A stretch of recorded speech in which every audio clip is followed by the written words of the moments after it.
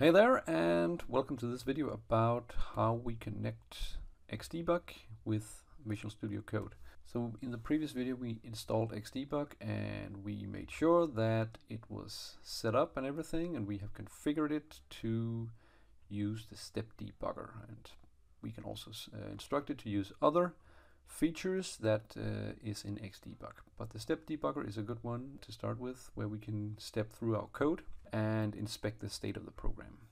But again, uh, I encourage you to read the documentation for how it works and the different features that you can make use of in this uh, extension for PHP. So we have Xdebug installed for uh, PHP and XAMPP and we can see here we open up Visual Studio Code I have a small PHP program with really simple code in here we have a variable that we echo out. Then we have a for loop uh, that we basically run through that echoes out 0 to 5 or 4.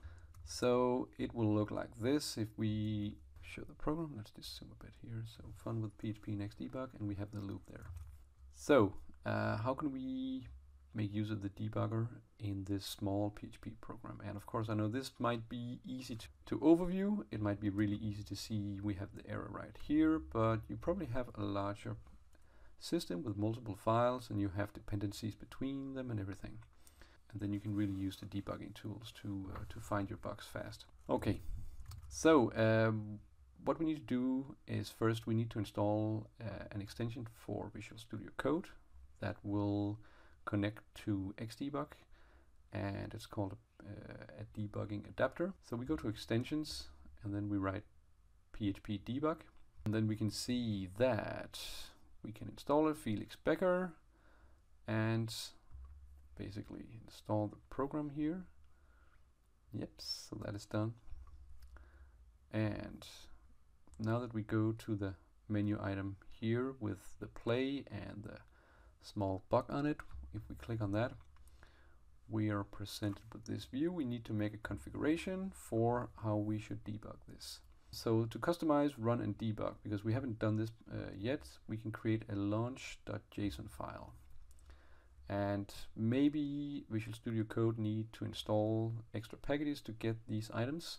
And afterwards, you should have a lot of different uh, debugging adapters. And we can see we also have PHP now because we installed the extension. So we click on PHP and then we get this launch.json file.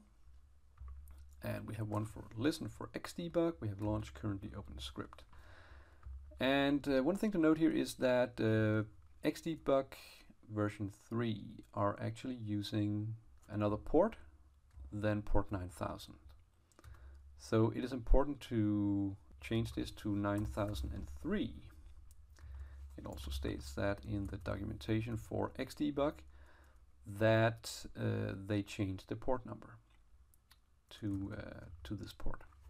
So that is important that you change this. But otherwise we can see that we can make extra configurations if we want and we can really customize this to our needs. So if we click launch, close this one there and we just uh, view the interface, we can see we now have uh, variables and watch and call stack and some breakpoints down here. And let's just zoom a little bit out there so we can see what's going on. So now we have uh, these two configurations. We have listen for xdebug and then launch currently open script. So I will take listen for xdebug and then if I hit uh, start debugging, we will get this uh, debugging panel up here where we are able to set breakpoints and much more. So let's say I want to inspect the state of my loop here. Then I can click on line 17 and then I have set a breakpoint. And we can also see in the very bottom here, index PHP on line 17, we have a breakpoint. So I can set multiple breakpoints in my program now. And when I run the website from my browser, uh, the Xdebug is going to interrupt the program execution and stop at these lines and we can inspect the program state to see if something is wrong or if it is uh, working. So if we go to our uh, website here and we refresh it now, we can see that Visual Studio Code will interrupt us and we have now started the debugging process and now it has stopped at the first breakpoint. And we all we, we can also see here over here that all the variables uh, have been initialized. We have our text variable that was set to fun with PHP debug. We can see it actually have a value now. And we can also see that the value of i is uninitialized. And the reason for that is we're uh, we run the program sequentially and we have not yet come to the part with the for loop, so we have not initialized this loop variable. So we can inspect a lot of things now. We can also inspect the super globals. So if we have uh, post request, get request, we can see the, the server, global variable, all these settings uh, in our program at runtime. So if we, uh, you can see up in this panel here, we have different commands. We can go with continue, F5, that will go to the next breakpoint or just continue with the program if we don't have any more breakpoints. We can also go step over F10. That means we're going to just uh, step over the next. We're not going to do more. We also have step into if we are if it is a function call that we need to go into the function then we can do that and we can also step out if we have been inside of a function and we just want to go out of it again. So if we go with continue. We can see it stops and uh, with the next breakpoint 17 and we can also inspect that now the variable of i has a value. Okay. And because this is a loop, I can click this and we can see how we are going through the iteration phase that we will add one more to our variable so it increases in the values.